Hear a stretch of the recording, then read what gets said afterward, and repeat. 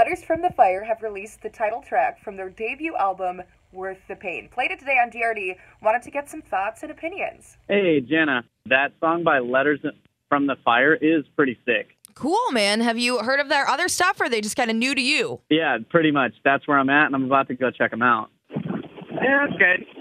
Just kind of okay? Yeah, I like um, Five Finger Death Punch more than that one. I like to rock.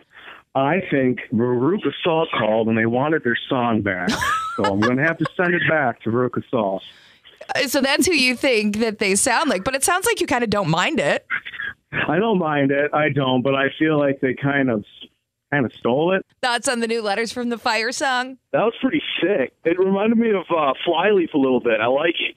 So there you go. That's what some people had to say about the new song from Letters from the Fire. But what do you think? Let us know. Take the poll at WGRD.com.